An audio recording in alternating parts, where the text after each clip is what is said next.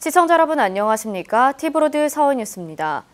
서울 등 수도권 집값이 폭등하자 정부가 오늘 부동산 대책을 내놨습니다.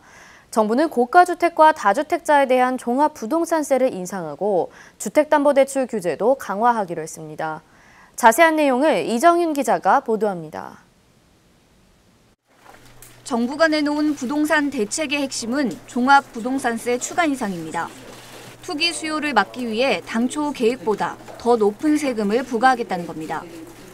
고가 주택에 대해선 0.2에서 0.7%, 3주택 이상자와 조정 대상 지역 내 2주택자에 대해선 0.1에서 1.2%의 종부세를 추가로 인상하기로 했습니다. 예를 들어 시가 18억 원짜리 집 한 채를 보유하고 있다면 94만 원인 종부세는 104만 원으로 인상됩니다.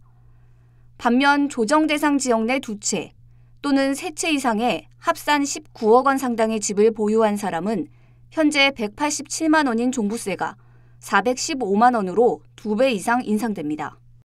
정부는 지금까지 부동산 정책에 일관되게 견지해왔던 첫째, 투기 억제, 둘째, 실수요자 보호, 셋째, 맞춤형 대책 이런 3대 원칙에 입각하여 투기와 집값은 끝까지 잡겠다는 각오로 이번 대책을 마련했습니다.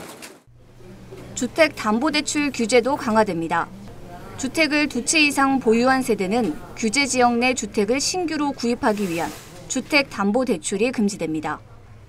규제 지역 내에서 공시가격이 9억 원을 넘는 고가 주택을 구입할 경우에도 실거주 목적을 제외하고는 주택담보대출을 받을 수 없습니다. 투기 지역과 과열 지분에 주택을 담보로 하는 임대사업자 대출에도 주택담보대출 비율 40%가 적용됩니다. 정부는 주택시장 안정을 위해 수도권에 공공택지를 공급할 계획인데 오는 21일 구체적인 계획을 발표할 예정입니다. 또 이번 부동산 대책 이후에도 부동산 시장이 안정되지 않을 경우 추가 대책을 내놓겠다고 밝혔습니다. 티브로드 뉴스 이정은입니다.